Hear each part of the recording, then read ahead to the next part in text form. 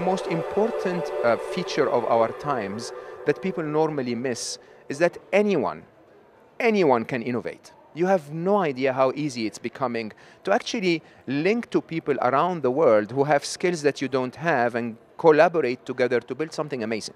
And if you can build something amazing, you can host it at a server the size of Google or the size of Amazon for $10 a month through cloud services. And then you can have access to global markets around the world through e-commerce everywhere, right?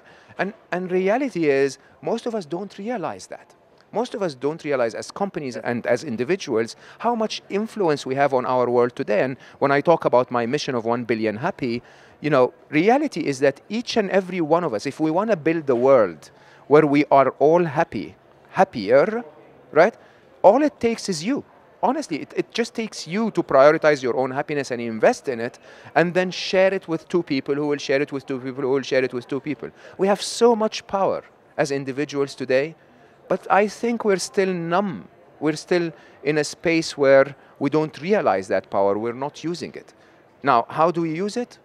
It's all about you. It's all about changing you. If you manage to change you, change your mindset, then you can innovate as much as Google is. If you manage to change your mindset, then you can find happiness and make others around you happy.